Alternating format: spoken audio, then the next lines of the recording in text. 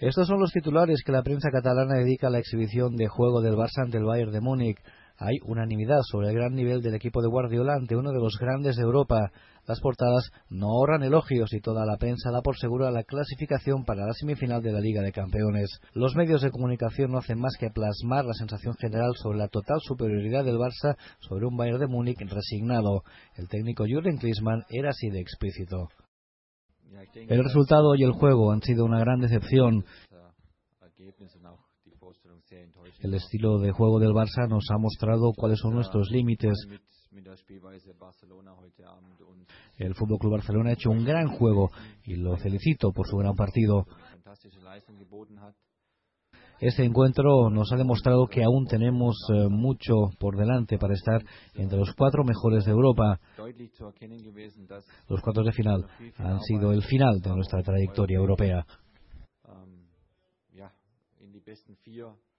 Pero la demostración azulgrana tampoco ha pasado desapercibida al resto del mundo periodístico. Los principales diarios especializados se rinden al potencial y a la calidad del fútbol azulgrana. La prensa alemana se muestra contundente. El diario Bild titula El Barça destroza al Bayern. Super Messi devoró las salsichas blancas de Baviera. El diario inglés The Guardian titula Messi inspirado y el Barça destroza al Bayern de Múnich. El prestigioso diario deportivo francés L'Equipe dedicaba la portada de este jueves a la goleada barcelonista. En la versión digital habla de un Barça aún más encantador.